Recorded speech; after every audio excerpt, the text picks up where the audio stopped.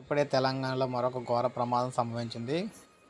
దసరా పండుగ సందర్భంగా ఆ కుటుంబంలో అంటే సందర్భంగా ఓ కుటుంబంలో విషాదం నెలకొందనమాట విద్యుత్ ఘాతంతో ఓ టీఎస్పీఎస్సీ కానిస్టేబుల్ మృతి చెందాడు. ఈ ఘటన టీఎస్పీ టీఎస్ఎస్పీ ప్రాంగణంలోనే విజయదుర్గ గుడి వద్ద అయితే జరిగిందనమాట రాయపర్తి మండలం మైలారం గ్రామానికి చెందిన రిటైర్డ్ ఎస్ఐ గూడెల్లి నోకయ్య యాకయ్య సుమతి దంపతులకు ముగ్గురు కుమారులు అనమాట రెండో కుమారుడు రాజేష్ అక్కడ మామునూరు టీఎస్ఎస్పి నాలుగు బెటాలియన్లో స్పెషల్ కానిస్టేబుల్గా విధులైతే నిర్వర్తిస్తూ ఉన్నారు.